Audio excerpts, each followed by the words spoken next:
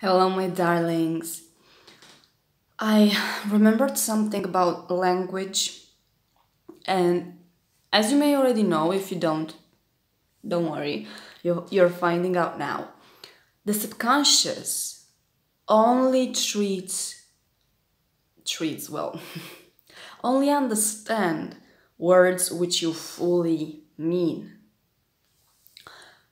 Meaning, this is the example. One says they're gonna eat the whole jar of something, let's say honey. And the other person says they're gonna eat the whole honey that's in that jar. What do you think works best for that subconscious for the subconscious? The second. It even makes more sense like logically as well. but this is a a sweet example, like literally.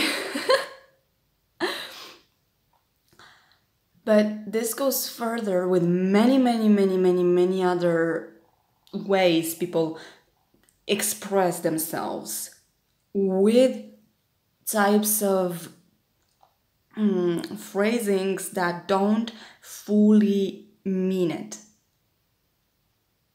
Like, I don't know what other example to give you at this point. I just thought of this one. But if you understood it, you can definitely think further at other examples which are more impactful on the way you shape your reality through your subconscious. Because I hope you know 90% of reality is manifested through the subconscious.